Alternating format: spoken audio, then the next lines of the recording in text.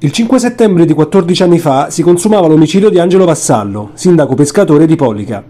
Come ogni anno nel comune cilentano si commemora in questo giorno la sua memoria. Quest'anno però la fondazione che porta il suo nome ha smorzato di molto gli animi, denunciando una vera e propria azione deliberata per cancellare la memoria del compianto sindaco. Sono passati 14 anni dall'omicidio del sindaco Vassallo, ma nel frattempo la sua memoria continua ad essere offuscata da azioni considerate inaccettabili Inizia così il duro comunicato della Fondazione Angelo Vassallo. Nel documento la Fondazione denuncia pubblicamente l'operato dell'attuale amministrazione comunale per atti visti come una dannazio memoria verso Vassallo.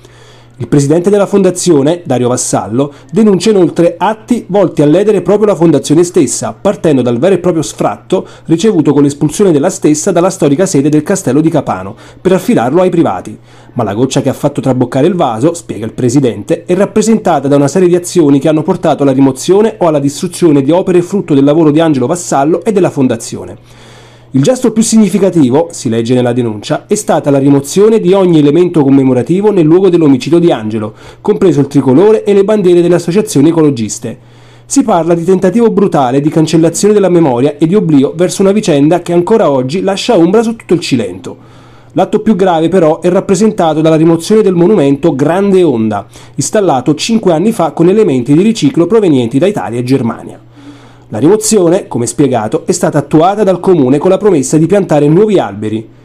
Mentre tutta Italia ricorda Angelo, il suo paese lo dimentica, afferma il presidente. A nulla poi servono premi retorici o corone in mare. Rincarando dopo la dose. Angelo ha cambiato le sorti del Cilento, ha combattuto battaglie per difendere la sua terra e a questi tentativi di azzeramento del suo ricordo noi rispondiamo con le sue idee, che sopravvivono ancora più forti. Conclude poi appellandosi a tutti i sostenitori del pensiero di Angelo Vassallo, invitandoli a perseverare nella loro ricerca di libertà per ricostruire la grande onda.